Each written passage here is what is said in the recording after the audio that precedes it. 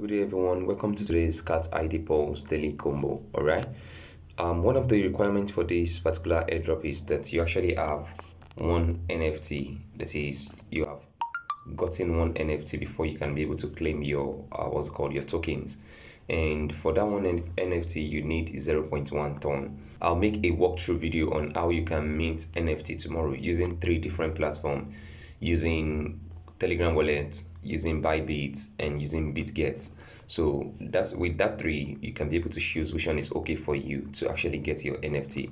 All right, let me head back. And when I click on this airdrop tab, you can see that you must have connected your wallets. You must be in pro level seven. You must have referred at least five friends.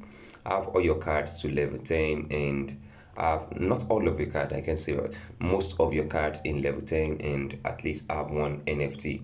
All right, now let's head to the zone tab and begin to select our cards for today. Just follow through with the names displayed on screen, okay? So I'm going to go for my first card. So I've selected that already. Then I'll go for the second name displayed on screen and I'll look for that name here also. Now head to the office tab and look for the last card which is um, connection office.